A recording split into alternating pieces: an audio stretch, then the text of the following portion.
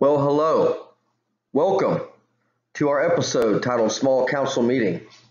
In this episode, Daenerys Stormborn, aka the Khaleesi, Jon Snow, aka King of the North, and Tyrion Lannister, aka Tyrion Lannister, must formulate a plan on how to create a meeting to speak with Tyrion's evil, ruthless sister, Cersei, about potentially forming a possible strategic alliance.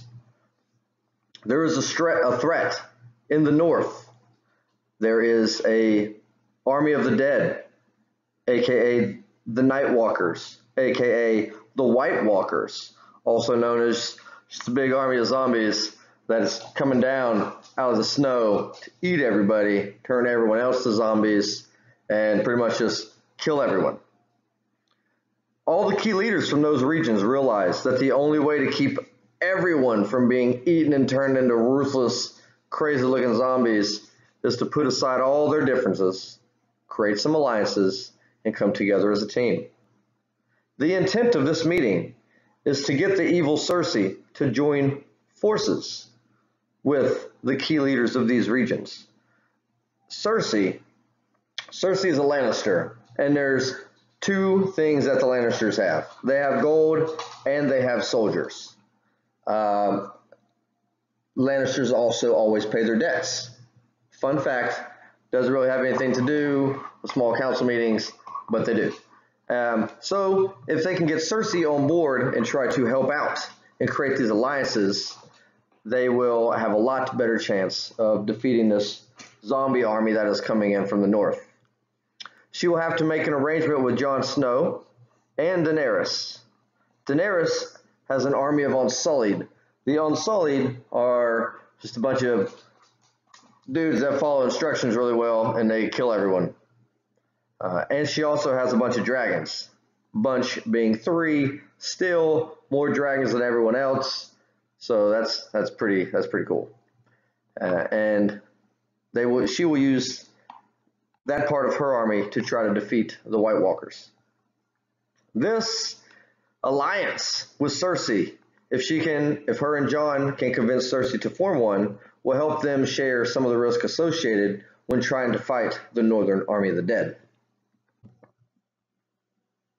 And then creating part of this strategic alliance is going to ultimately lead to globalization of the seven kingdoms.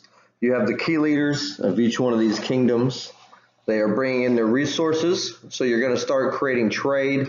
You're going to start building alliances. You're going to start uh, bringing civilizations together. They're going to have to understand exactly you know, which way or how this civilization works, how this group of people works, how the people of the North work, how the people of King's Landing, that Cersei rules, works. By bringing all these people together, they're going to essentially begin to globalize and unite to create one kingdom out of seven.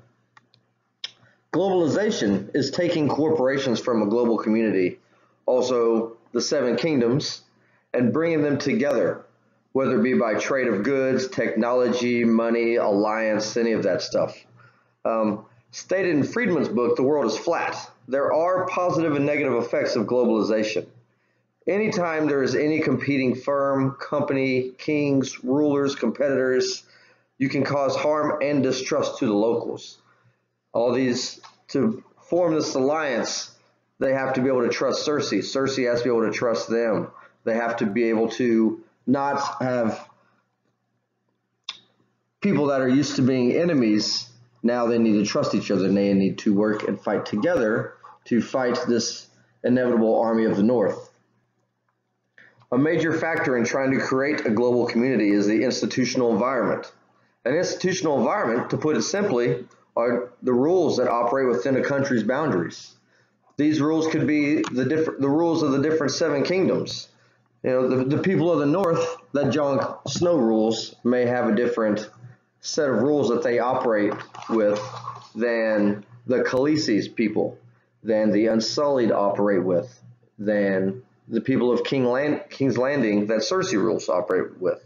They all operate differently. They're all different complex societies will have different complex policies.